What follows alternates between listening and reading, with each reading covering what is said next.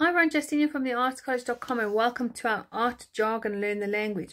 And we're looking today at what is oil paint. Now, oil paint is basically a thicker version of paint, but you cannot use water to mix with it. You need another medium to um, be able to mix with it. So like acrylic paint, you use water to um, feed the paint so that when you're painting, you can obviously you know, get onto the canvas that it's not dry. With oil paints, you need uh, what we call genuine turpentine and linseed oil. And that feeds the paint and obviously um, makes it spread the paint over the canvas. You definitely cannot use water with it because it's literally mixing oil with water.